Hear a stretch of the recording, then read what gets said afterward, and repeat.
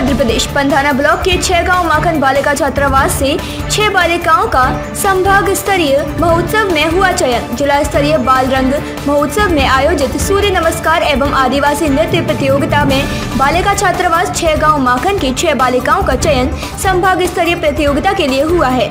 यह बालिकाएँ आगामी 20 नवंबर को इंदौर में आयोजित संभाग स्तरीय बाल रंग महोत्सव में खंडवा ज़िले का प्रतिनिधित्व करेंगी।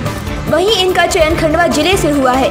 चयनित बालिकाओं में कुमारी, गरिमा कुमारी, मनीषा कुमारी, रंजना कुमारी, निर्मला कुमारी, कल्पना कुमारी भूरी शामिल हैं।